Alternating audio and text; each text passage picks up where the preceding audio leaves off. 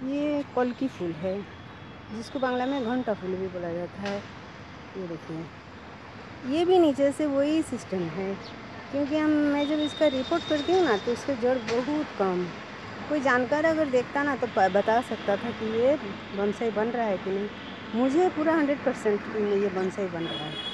ये देखिए। ज़्यादा ऊंचाई नहीं है। एक मीटर, डेढ़ मीटर होगा। ये देख लीजिए